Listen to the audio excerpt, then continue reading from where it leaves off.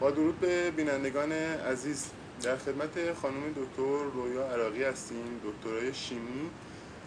ایشون از ما ایشون معاون آقای بروجردی از روحانیون مستقل مذهبی که خواهان جدایی دین از حکومت هستند می باشند خانم دکتر عراقی اخیرا از ایران خارج شدن و تلاش کردیم با ایشون تماس بگیریم تا در رابطه با وضعیت آقای بروجردی در زندان جمهوری اسلامی ایران بیشتر مطلع بشیم.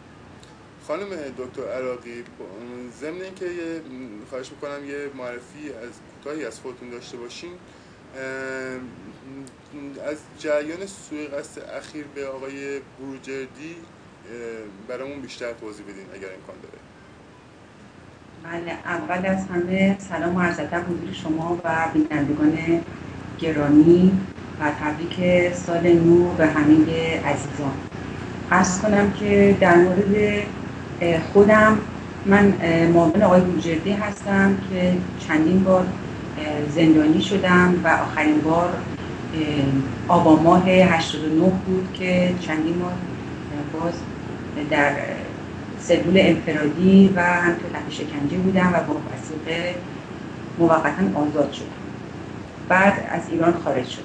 در مورد سوی قصدی که به جان آقای کازمین بوجردی انجام شده بوده یک هفته قبل از سال جدید عوامل رژیمشون رو به همون طریقی که مادرشون رو مسموم کرده بودن ایشون رو هم مسموم کردن و در حال حاضر ایشون از علائم مسئولات شدید رنج می‌بره و دچار خونریزی داخلی شد. و احتیاج هستش که فورا به بیمارستان منتقل بشه. منتها مسئولین زندان هرچی که خانواده پیگیری کردن قبل از تعطیل نوروز هی مرتبا به عقب انداختن و توجهی به این مسئله نکردن تا اینکه به تعطیلات نوروز به تعطیلات نوروز و هنوز هم هیچ اقدامی برای درمان ایشون انجام نگرفت اصلا شما که مادرشون رو هم به همین روش سال 85 که همراه ایشون دستگیر کرده بودن مسئول کردن که پس از اینکه از زندان آزاد شدن در سر همین بیماری کشته شد. و بر همین ما خیلی نگران جان ایشون هستیم که هر چه زودتر ایشون رو تحت درمان قرار بدن. ممنون. خانم دکتر. با توجه به اینکه شما از یارانی بودید که به همراه ایشون در زندان به سر می بردیم و مدت زیادی نیست که تونستین از زندان خارج بشین. می‌خواستم در مورد وضعیت سایر هواداران ایشون که به چه صورته؟ آیا هنوز در زندان به سر می‌برن؟ آزاد شدن؟ و کلا وضعیت به چه صورته؟ عرض کنم که قبل از اینکه راجع به این سوال توضیح بدم باید یک توضیح بدم در مورد خود آقای بروجردی که ایشون به دلیلی که اولین یا تنها روحانی مستقل هست که خواهان جدایی دین از حکومت بوده و مقالات و رساله های زیادی بر اساس مستندات دینی و قرآنی برای رد ولایت فقیه نوشته. رژیم ایشون رو یکی از بزرگترین دشمنان خودش می‌دونه و به شدت در بایکوت خبری قرار میده و خواهان حذف فیزیکی ایشون هست. و بنابراین در همین راستا بوده که این سوء قصد هم انجام شده.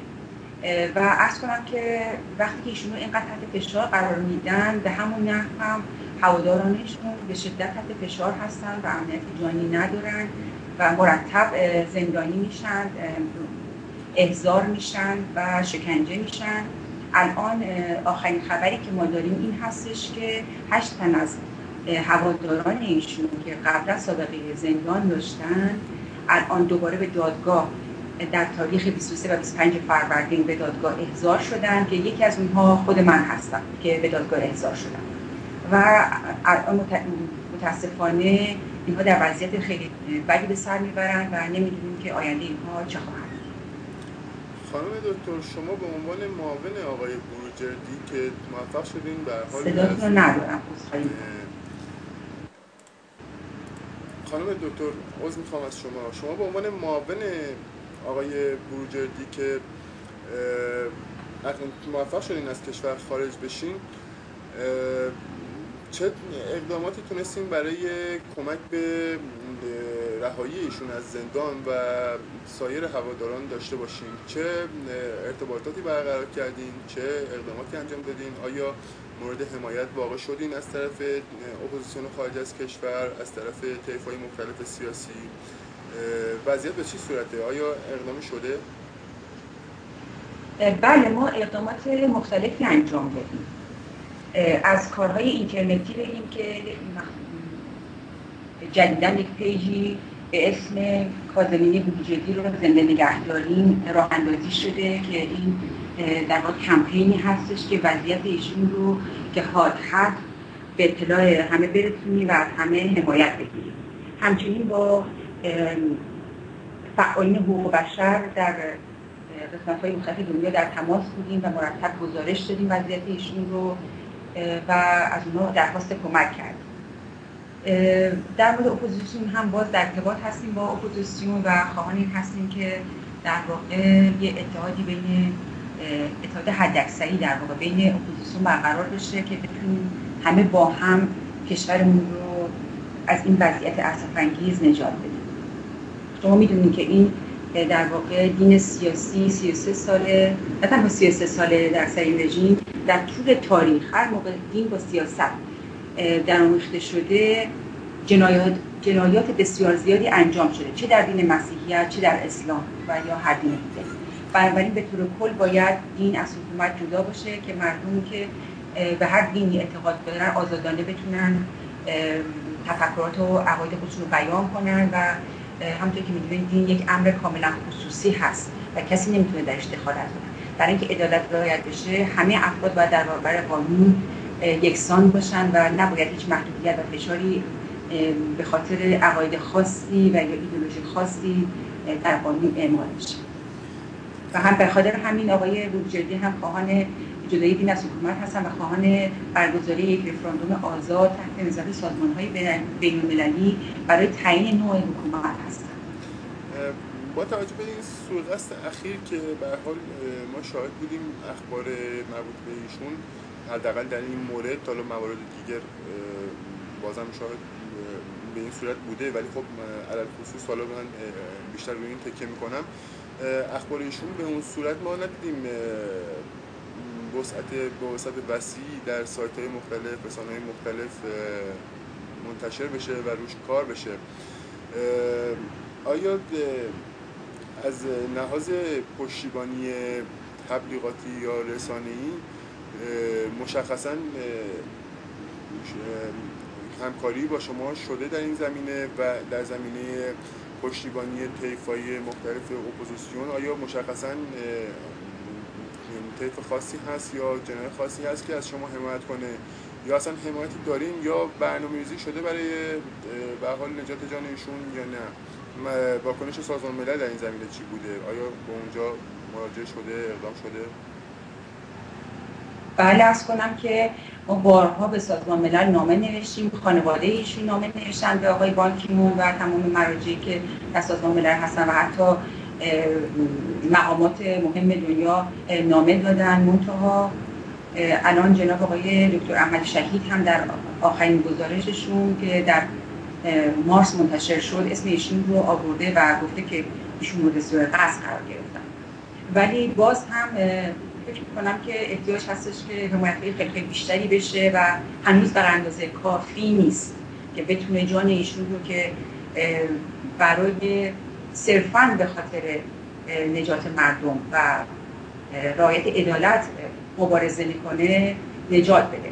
به خاطر اینکه من تا جایی که اطلاع دارم ایشون هفت سال یا 6 سال در زندان هستن بدون حتی یک روز مرخصی. این که حالا بعد از این گزارش آقای احمد شهید اسمشون رو اسمشون رو بخوان توی لیست بیارن این به نظر می‌رسه که یه مقدار حالا بیتوجهی یا کمکاری یا نمی‌دونم نظر شما در این مورد چیه؟ بله ارز کنم که گزارش اولی که جناب دکتر احمد شهید داده بودن اصلا اسم از ایشون نبرده بودن. با اینکه ما گزارش رو به طور کامل فرستاده بودیم که ما اعتراض کردیم و براشون ایمیل زدیم و تماس گرفتیم و ازشون خواهش کردیم که این در واقع این گزارش رو بیارن و ازشون یاد کنن. البته نامه های سرگشاده هم نوشتیم و منتشر کردیم.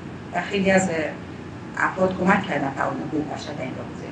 که بنابراین در دومین گزارش ایشون حداقل اسم ایشون آورده یک روزه کوچیکی داده شده.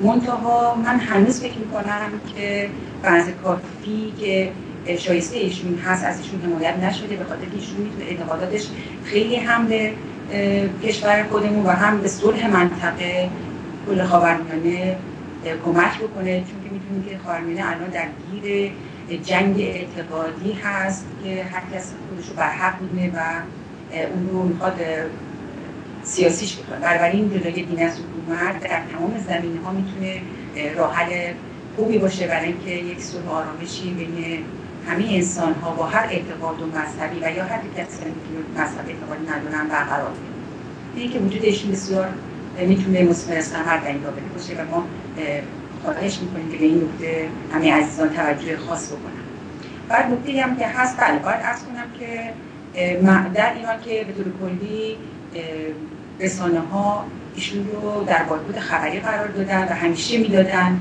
چه در این شرایط خاص. و خود مسئولان دادگاه هم بارها گفتن که اگر تو رو آزاد کنیم شما مردم دنبالت خواهند تو توانایی جذب مردم رو داری و اجازه نمیدی. بر همینشون رو در واقع نوعی گروگان نگه داشتن و همین تلاش می‌کنن در خود زندان ایشون رو حس فیزیکی کنن و به طرق مختلف در فشار قرارشون بله. و در بعض موارد مخصوصا در مواردی که سوء قصد به جان ایشون میشه متاسفانه علیرغم اینکه رسانه ها بعضی وقتا همکاری می‌کنن ولی اون همکاریش لازم انجام نمی‌گیره. حتی بعضی رسانه ها رو خودم تماس گرفتم ازشون خواهش کردم این خبر رو منتشر کنن. گفتن باید به هم تصمیم گیری بشه و بعد پیگیری نشده. یعنی اخبار زندانیان گمنام به راحتی پخش میشه ولی یک شخص مثل ایشون رو هنوز ما احساس می‌کنیم که مشکلاتی هست. هرچند که بر خودتون هم هستش که این چگونه می‌تونه باشه. ولی خب به حال حمایت میشه ولی من میگم خواهان هستیم که این حمایت ها خیلی بیشتر بشه و تشکر می‌کنم از همه کسانی که کمک سوالات بسیاری هست خانم دکتر عراقی و در حال ابهامات زیادی است که باید مشخص بشه ولی با توجه به زمان اندک ما امیدوارم که در نوبت بعدی بتونیم با شما بیشتر صحبت داشته باشیم در رابطه با فعالیتاتون و در رابطه با وضعیت آقای بروجردی. برای به حال خط مصاحبه اگه صحبت خاصی داریم بفرمایید. بله عرض کنم که فقط این نکته می‌خواستم عرض کنم و اون این هستش که در واقع این جدایی دین از حکومت پاشنه آشیل رژیم هست که بتونیم با اون جنایات اونها پایان کنیم بنابراین مهم هستش که بدونیم که ایشون رو تحت فشار قرار میدن به خاطر این مسئله. البته از یک طرف هم مردم چون از جنایات این رژیم خسته شدن و حق هم دارن و این تمام روحانیون در واقع بدبین شدن و بدنام شدن با این روشی که رژیم به کار برده. لذا با اینکه ایشون به خاطر اعتراض به استبداد ستمدینی و این جنایات چپاولی که انجام شده توسط رژیم لباس روحانیت رو به دلخواه اصلا در بردن و حاضر نشدن که با رژیم همکاری کنن. ایشون همین الان اگر یک در واقع بنویسه که اشتباه کردن و رژیم کارش درست هست می‌تونن آزاد بشن به راحتی. ولی ایشون به هیچ عنوان زیر بار این اشتباه و در واقع زیر بار این ظلم نرفتن و بر همین هستش که خیلی تحت فشار هستن. برای من خواهش می‌کنم که این نکته رو توجه بفرمایید و اگر به خاطر بد, بد بینی که نسبت به رژیم که داره این رژیم اجازه ندیم که این رژیم از این وضعیت سو استفاده کنه و یکی از بزرگترین دشمنانش رو حضر فیزیکی بتونه بکنه. ممنون. بله. بله. کاملا همینطور. خیلی سپاسگزارم از شما. من ونداد اولاد عظیمی در خدمت خانم دکتر رویا عراقی بودیم معاون آقای بروجردی از روحانیون مستقل. خواهان جدایی دین از حکومت. با تشکر از شما بدرود. تشکر می‌کنم که وقت در من قرار دادیم و بدرود میگم.